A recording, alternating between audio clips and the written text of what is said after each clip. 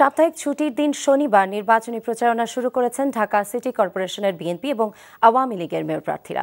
সকালে ঢাকা উত্তরের BNP mayor প্রার্থী তাবিদ আওয়াল মিরপুরে নির্বাচনী প্রচারণা শুরু করেন। তার সাথে রয়েছেন বিএনপি এবং সহযোগী সংগঠনের নেতাকর্মীরা। অন্যদিকে ঢাকা উত্তরের আওয়ামী লীগ প্রার্থী আতিকুল ইসলাম গুলশান থেকে দিনের নির্বাচনী প্রচারণা শুরু করেন। সেখানে আছেন আওয়ামী লীগ ও সহযোগী সংগঠনের নেতাকর্মীরা। আর ঢাকা দক্ষিণের আওয়ামী লীগের মেয়র প্রার্থী ফজলে নূর তাপসের বাবুবাজার থেকে নির্বাচনী প্রচারণা শুরু করার কথা রয়েছে। এছাড়া দক্ষিণের বিএনপি প্রার্থী ইশরাক হোসেন রাজধানীর রায় রায় সাহেব বাজার এলাকায় নির্বাচনী প্রচারণা শুরুর কথা রয়েছে।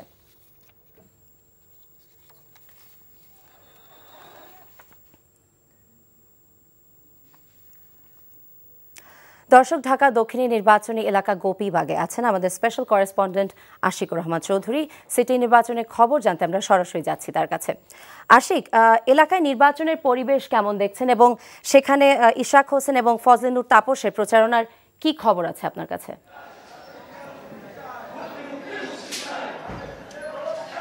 হ্যাঁ দুই প্রার্থীরই প্রচারণা আর অল্প কিছু সময়ের মধ্যেই শুরু হবে। তার আগে মূলত তারা তাদের বাসায় দলীয় নেতাকর্মীদের সাথে বিভিন্ন বিষয় নিয়ে আলাপ আলোচনা করছেন। অর্থাৎ এক ধরনের প্রস্তুতি তারা নিচ্ছেন এবং এই প্রস্তুতি শেষেই তারা নির্বাচনী প্রচারণায় বিভিন্ন পাড়া মহল্লাগুলোতে তারা যাবেন। আমি যেমন দাঁড়িয়ে আছি গোপীবাগে, ইশরাক হোসেনের বিএনপির দক্ষিণের যে মেয়র প্রার্থী ইশরাক হোসেন, তার পৈতৃক বাড়ির সামনে তো তিনি অল্প কিছু সময়ের মধ্যেই নির্বাচনী প্রচারণায় বের হবেন। তবে তার আগে তিনি সাংবাদিক, সাংবাদিকদের সাথে কথা বলেছেন কথা বলেছেন, ইভিএম নিয়ে কথা বলেছেন নির্বাচনে পোলিং এজেন্ট দেওয়ার ব্যাপার নিয়ে। তো যে বিষয়টি তিনি বারবারই বলার চেষ্টা করছেন যে গত জাতীয় নির্বাচনে বিএনপির পোলিং এজেন্ট দেওয়ার বিষয় নিয়ে যে অভিযোগগুলো রয়েছে, বিশেষ করে এজেন্ট দেওয়ার আগেই এজেন্টদেরকে গ্রেফতার করা বা নির্বাচনের দিন এজেন্টদেরকে কেন্দ্র থেকে বের করে দেয়, এরকম বেশ কিছু অভিযোগ যেখানে রয়েছে, সেখানে এবার তারা সর্বোচ্চ প্রস্তুতি নিচ্ছেন যাতে এজেন্টদেরকে সুরক্ষা দেওয়া যায়। এবং তারা যেটা বারবারই বলার চেষ্টা করছেন যে, এবার আর একতরফা নির্বাচন হতে দেওয়া হবে না। মূলত এই ধরনের একটা অ্যাপ্রোচ নিয়ে ইশরাক হোসেন কথা বলছেন প্রতিদিনই।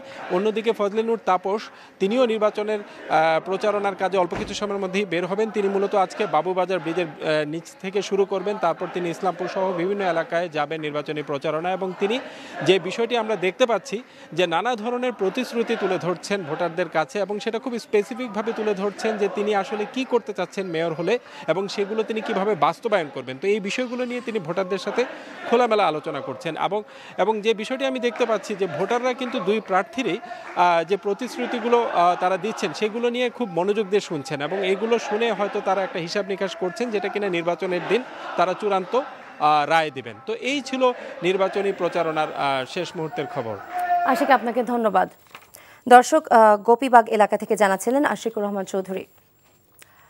ঢাকা উত্তরের নির্বাচনী এলাকা মিরপুরে আছেন আমাদের স্পেশাল করেসপন্ডেন্ট আরিফুর রহমান। এবারে আমরা সরাসরি যাচ্ছি তার কাছে। আরিফ এলাকায় নির্বাচনের পরিবেশ কেমন দেখছেন এবং প্রার্থীরা যে প্রতিশ্রুতি দিচ্ছে, সে সম্পর্কে ভোটাররা কি বলছে, আমাদেরকে জানাবেন।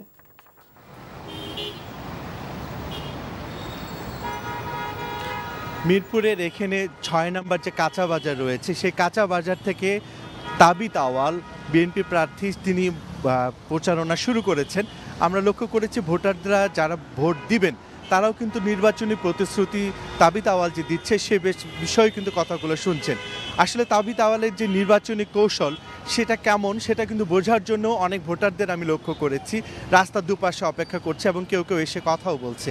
তো এখানে তাবিত আওয়াল তিনটি বিষয়ে কথা বলেছেন।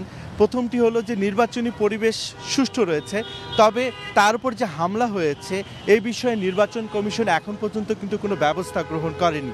এই বিষয়ে কিন্তু তিনি কিছুটা ক্ষোভ প্রকাশ করেছেন। এবং আরেকটি বিষয় তিনি বলেছেন যে ইভিএমের ব্যাপারে বিএনপির যে অবস্থান, এখনও কিন্তু তারা অনর এবং এই নির্বাচনে যেন ইভিএম না ব্যবহার করা হয়, এই জন্য তিনি নির্বাচন কমিশনের প্রতি আবেদন জানিয়েছেন। আরেকটি বিষয় আপনাকে বলে রাখি, উত্তরের মেয়র প্রার্থী আতিকুল ইসলাম তিনিও কিন্তু বাড়িধারা কালাচাঁদপুর থেকে নির্বাচনী প্রচারণা শুরু করেছেন এবং আমরা জানতে পেরেছি তিনি বলেছেন যে নির্বাচনী পরিবেশ সুষ্ঠু রয়েছে এবং তিনিও কিন্তু ভোটারদের কাছে যাচ্ছেন এবং নির্বাচনী প্রতিশ্রুতি দিচ্ছেন এবং বিভিন্ন ধরনের কথা বলছেন এবং সেখানেও ভোটাররা কিন্তু তার কথা শুনছেন। তো এই দুই প্রার্থী, মেয়র প্রার্থী দুটো জায়গা থেকে নির্বাচনী প্রচারণা একই সময় থেকে শুরু করেছেন সকাল সাড়ে এগারোটা থেকে। তো এই ছিল সর্বশেষ খবর। ফারজানা। আরিফ, আপনাকে ধন্যবাদ। দর্শক মিরপুর থেকে জানাচ্ছিলেন আমাদের স্পেশাল করেসপন্ডেন্ট আরিফুর রহমান।